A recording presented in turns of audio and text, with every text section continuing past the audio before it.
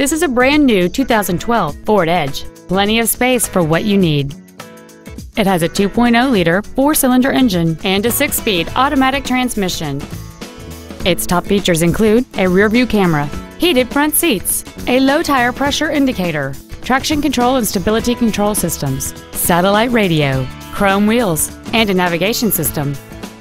The following features are also included cruise control, steering wheel mounted controls, heated side view mirrors, a premium audio system, leather seats, a rear spoiler, an illuminated driver's side vanity mirror, halogen headlights, a rear window defroster, and an anti-theft protection system. Please call us today for more information on this great vehicle. Tomball Ford is located at 22702 Tomball Parkway in Tomball. Our goal is to exceed all of your expectations to ensure that you'll return for future visits.